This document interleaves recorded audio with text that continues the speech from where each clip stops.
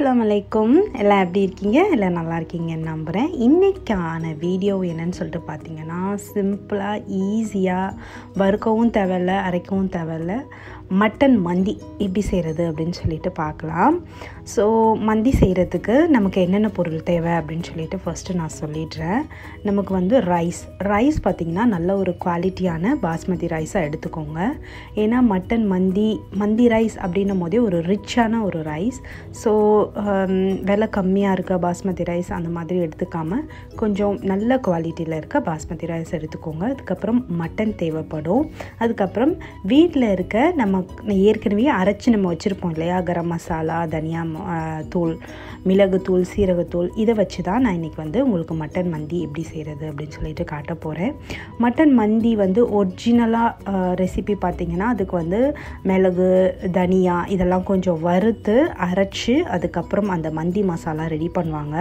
So அதில் போடுற இன்க்ரீடியண்ட்டே தான் நம்ம ஏற்கனவே வீட்டில் அரைச்சி வச்சுருப்போம் இல்லையா? அதை வச்சு சிம்பிளாக எப்படி பண்ணுறது குயிக்காக அப்படின்ட்டு தான் நான் இன்றைக்கி நான் உங்களுக்கு காட்ட போகிறேன் ஸோ நம்ம மந்தி ரைஸ் பண்ணுறதுக்கு ஃபர்ஸ்ட்டு நான் என்ன பண்ணுறேன்னா மட்டனையும் ரைஸையும் ஒரு ஆஃப் அன் ஹவர் நான் சோக் பண்ண போகிறேன் ஸோ ஃபர்ஸ்ட் வந்துட்டு ஒரு ரெண்டு கப் அளவு நான் வந்துட்டு ரைஸ் எடுத்துக்கிறேன். ரைஸ் பார்த்திங்கன்னா வந்து ஒரு அரை கிலோ இருக்கும். ஸோ அதனால் சேம் குவான்டிட்டி அதாவது அரை கிலோவே நான் வந்து மட்டன் எடுத்துருக்கேன். மட்டன் வந்து பார்த்திங்கன்னா மந்திலலாம் வந்து சிக்கன் மந்தி ஆகட்டும் மட்டன் மந்தி ஆகட்டும் அப்படியே லெக் பீஸோட அப்படியே ஃபுல்லாக அதாவது சின்ன சின்ன பீஸாக கட் பண்ண மாட்டாங்க. ஃபுல்லாக தான் வச்சுருப்பாங்க. இங்கே வந்து அப்படி ஃபுல்லாக நம்ம வாங்கிட்டு வர முடியாது இல்லையா? ஸோ நான் வந்து பீஸ் பீஸான மட்டன் தான் நான் வந்துட்டு இன்றைக்கி நான் ஆட் பண்ணியிருக்கேன். ஸோ ரைஸ் வாஷ் பண்ணி அதை நம்ம ஆஃப் அன் ஹவர் வந்து தனியாக ஊற வச்சிட போகிறோம் ஏன் அரை மணி நேரம் ஊற வைக்கிறோம் அப்படின்னு சொல்லி பார்த்தீங்கன்னா நல்லா நீள நீளமாக நல்லா சூப்பராக வரும். அதனால தான் ரைஸை வந்து ஒரு ஆஃப் அன் ஹவர் நம்ம ஊற வைக்க போகிறோம் அதே மாதிரி மட்டனை வந்து நம்ம நல்லா வாஷ் பண்ணி அதில் இருக்க கொழுப்பு இதெல்லாம் எடுத்துட்டு நம்ம வந்துட்டு சில மசாலாஸ் போட்டு மேரினேட் பண்ணி வைக்க போகிறோம் ஒரு ஆஃப் அன் ஹவருக்கு ஸோ ஃபர்ஸ்ட் வந்து மட்டனில் வந்துட்டு நான் சால்ட்டு மிளகுத்தூள் அப்புறம் வந்துட்டு சீரக பொடி கரம் மசாலா அதுக்கப்புறம் வந்துட்டு தனியாத்தூள் வீட்டு தனியாத்தூள் நம்ம அரைச்சி தனியாக வச்சுருப்போம் இல்லையா? ஸோ அது. அதுக்கப்புறம் ஜாதிக்காய் பொடி. இது எல்லாத்தையும் சேர்த்து நல்லா ஒரு மிக்ஸ் கொடுத்துட்டு இதை நான் ஒரு ஆஃப் அன் ஹவர் நான் ஊற வைக்க போகிறேன் ஸோ ஜாதிக்காய் பொடி ஏன் போடுறோம் அப்படின்னு சொல்லிட்டு பார்த்தீங்கன்னா மட்டன் மந்தி அப்படின்னாலே அந்த என்ன சொல்கிறது இந்த மீட் இருக்குது இல்லையா? எலும்பு தனியாக மீட் தனியாக வரும். அப்படியே ஜூஸியாக சூப்பராக இருக்கும். ஸோ அதை வந்து அந்த அளவுக்கு குக் பண்ணுறது எது அப்படின்னு சொல்லி பார்த்தீங்கன்னா ஜாதிக்காய். உங்களுக்கு வந்துட்டு மட்டன் குழம்பு வைக்கிறீங்க இல்லை மட்டனில் வேறு ஏதாவது ஃப்ரை பண்ணுறீங்க மட்டன் கொஞ்சம் ஹார்டாக இருக்குது வேக மாட்டேங்குது அப்படின்னா இது ஒரு டிப் நீங்கள் ஜாதிக்காய் பொடி லைட்டாக போட்டு நீங்கள் வேக வச்சு பாருங்கள் சூப்பராக அப்படியே டெண்டராகிடும் மட்டன் அப்படியே வாயில் வச்சோடனே வெண்ணெய் மாதிரி உள்ளே போகும். அந்த அளவுக்கு நல்லா வெந்துடும் ஸோ அது ஆஃப் அன் ஹவர் ஊறிட்டே இருக்கட்டும். மீன் வயல்ஸ் நான் என்ன பண்ணுறேன்னா ஒரு குக்கர் அடுப்பில் வச்சுக்கிட்டு நெய் ஊற்றிக்கிறேன் நெய் அப்படி இல்லைன்னா பட்டர் இது ரெண்டும் போட்டுக்கலாம். போட்டுட்டு அதில் வந்து பட்டை கிராம்பு ஏலக்காய். இதை போட்டுட்டு முழுசாக ஒரு ட்ரை லெமன் அதை நான் போட்டுக்கிறேன். உங்கள்கிட்ட ட்ரை லெமன் இல்லை அப்படின்னா நீங்கள் அந்த லெமனை வந்து ஸ்கிப் பண்ணிவிடுங்க ஸோ போட்டுட்டு நான் ரெண்டு வந்து மீடியம் சைஸ் ஆனியனை இந்த மாதிரி ஸ்லைஸ் பண்ணி வச்சுருக்கேன். அதையும் நான் இதை உள்ளே போட்டுட்டு நல்லா சாட்டே பண்ணிக்கிறேன். இது நல்லா கோல்டன் ப்ரௌன் ஆனதுக்கப்புறமா இஞ்சி பூண்டு பேஸ்ட் ஒரு ஒன்றரை டேபிள் ஸ்பூன் இதில் நான் சேர்த்துக்க போகிறேன் சேர்த்துட்டு அதுக்கப்புறம் நம்ம ஏற்கனவே மேரினேட் பண்ணி வச்சுருந்தோம் இல்லையா ஆஃப் அன் ஹவர் அந்த மட்டனை இதுக்குள்ளே நம்ம போட்டுக்க போகிறோம் போட்டுட்டு நல்லா ஒரு மிக்ஸ் கொடுத்துட்டு நான் வந்துட்டு ரைஸ் அளந்தேன் இல்லையா? ஸோ அதே கப்பில் மெஷரிங் கப்பில் ஒரு ரெண்டு கப் அளவு தண்ணி இதில் நான் ஊற்றிட்டு இதை நல்லா குக் பண்ண போகிறேன்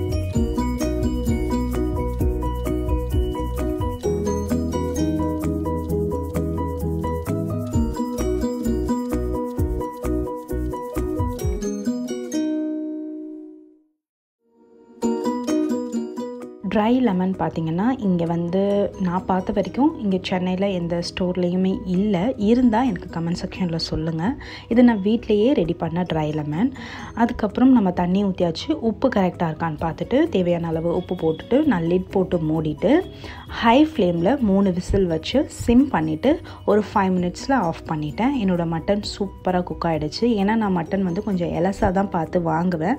ஸோ அதனால் அது அவ்வளோ சீக்கிரம் குக் ஆகிடுச்சு உங்களுக்கு மட்டன் மட்டனுக்கு ஏற்ற மாதிரி விசில் வந்து நீங்கள் அதிகவோ அதிகமாக படுத்தவோ இல்லை குறைவாக வச்சுக்கவோ பண்ணிக்கோங்க. மட்டன் நல்லா அங்கே வெந்துருச்சு. இப்போ நான் வந்துட்டு ஒரு பெரிய சைஸ் ஒரு கிலோ பாத்திரம் எடுத்திருக்கேன் இது. ஏன்னா mutton half KG and then rice half KG மொத்தம் சேர்த்திங்கன்னா ஒரு ஒன் கேஜி வரும். ஸோ இதில் வந்து நான் ஆலிவ் ஆயில் சேர்த்துக்கிறேன். நீங்கள் நார்மல் ஆயில் போடுறதா இருந்தாலும் போட்டுக்கலாம். ஆலிவ் ஆயில் போட்டுட்டு இதில் வந்து ஒரு டேபிள் ஸ்பூன் அளவு முழு மிளகு சேர்த்துக்கிறேன். அதுக்கப்புறம் முந்திரி பாதாம் திராட்சை. இது வந்து ஆப்ஷனல் தான். வேணும்னா நீங்கள் சேர்த்துக்கலாம். வேணாம் அப்படின்னா அதை நீங்கள் ஸ்கிப் பண்ணிவிடுங்க இது சேர்த்துட்டு இது நல்லா சாட்டே பண்ணிவிட்டு நம்ம வந்து ஏற்கனவே குக்கரில் வேக வச்சுருந்தோம் இல்லையா மட்டன் அதை எல்லாத்தையும் தூக்கி இதில் போட்டுக்கணும்.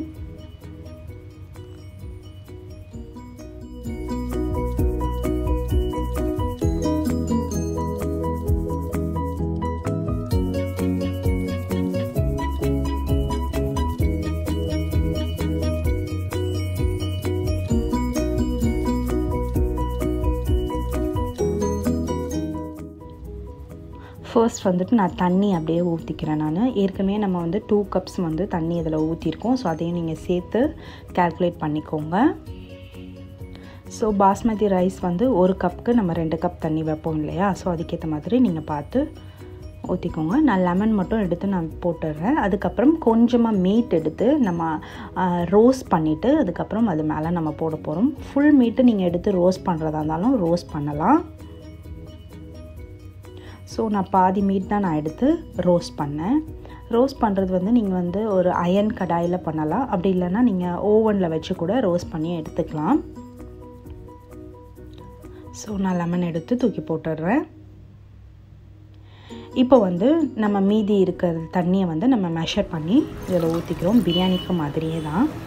இது நல்லா பாயில் ஆகும் இதை நம்ம மூடி வச்சிடலாம். இப்போ நம்ம ரோஸ்டிங் பார்ட்டுக்கு வரலாம். கொஞ்சமாக ஆலிவ் ஆயில் ஊற்றிட்டு நான் அயன் கடாயில் தான் ரோஸ்ட் பண்ண போகிறேன் ரோஸ்ட் பண்ணுறது ஃப்ரை பண்ணுறது முறு முறுன்னு உங்களுக்கு வரணும் அப்படின்னு நீங்கள் நினச்சிங்கன்னா நீங்கள் அயன் கடாய் யூஸ் பண்ணுங்கள் ரொம்பவே கிறிஸ்பியாக வரும். ஸோ இதில் வந்து நான் கொஞ்சம் மீட் எடுத்து போட்டு நல்லா ரோஸ்ட் பண்ணிட்டேன். இப்போ சொல்லும் போதே எனக்கு வந்து அவ்வளோ டெம்டிங்காக இருக்குது ஸோ இது நல்லா ரோஸ்ட் ஆகட்டும். இந்த சைட் பார்த்திங்கன்னா தண்ணி நல்லா கொதி வந்துருச்சு.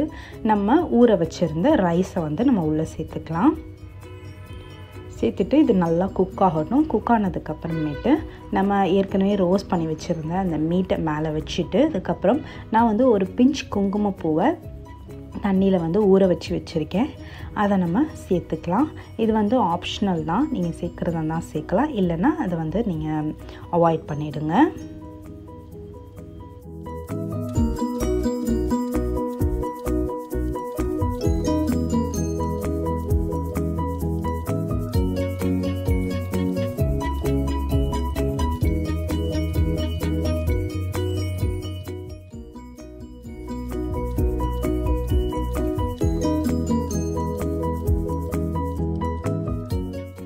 இந்த ஸ்டேஜில் நான் என்ன பண்ணுறேன்னா ஊற வச்சு வச்சுருந்த குங்குமப்பூவையும் நம்ம ஏற்கனவே ரோஸ் பண்ணி வச்சுருந்த மட்டன் பீசஸையும் மேலே சேர்த்து நல்லா ஒரு மிக்ஸ் கொடுத்து நான் தம் விட போகிறேன் ஒரு ஃபைவ் டு டென் மினிட்ஸ் தம்பில் இருந்ததுக்கப்புறமேட்டு நமக்கான மட்டன் வந்து சாரி மந்தி வந்து சூப்பராக ரெடி ஆகிடும் கண்டிப்பாக நீங்கள் இந்த ரெசிப்பியை உங்கள் வீட்டில் ட்ரை பண்ணி பாருங்கள் மந்தி மசாலா இல்லையே அப்படின்னு சொல்லிட்டு இங்கே வருத்தப்படலாம் தேவையில்லை. ரொம்ப சிம்பிள் மந்தி ரெசிபி ரொம்ப டெலிஷியஸான ஒரு ரைஸ் ரெசிபி இது. கண்டிப்பாக இந்த ரெசிபியை உங்கள் வீட்டில் நீங்கள் ட்ரை பண்ணி பாருங்கள்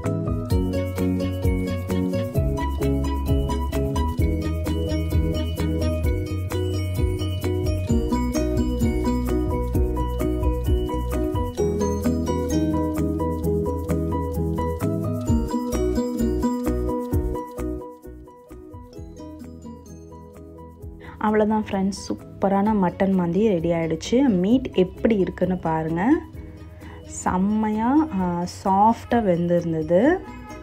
சூப்பராக என்ஜாய் பண்ணோம் அன்றைக்கி மத்தியானம் லன்ச் நாங்கள் கண்டிப்பாக இந்த ரெசிப்பியை உங்கள் எல்லார் வீட்லேயும் ட்ரை பண்ணி பாருங்கள் பார்த்துட்டு உங்களோட ஃபீட்பேக்கை என்னோட ஷேர் பண்ணிக்கோங்க. நெக்ஸ்ட்டு இன்ட்ரெஸ்டிங்கான ஒரு ரெசிபியோடையோ ஒரு விலாகோடையோ உங்கள் எல்லாரையும் மீட் பண்ணுறேன் பாய் டேக் கேர் அண்ட் அஸ்லாம் அலைக்கும்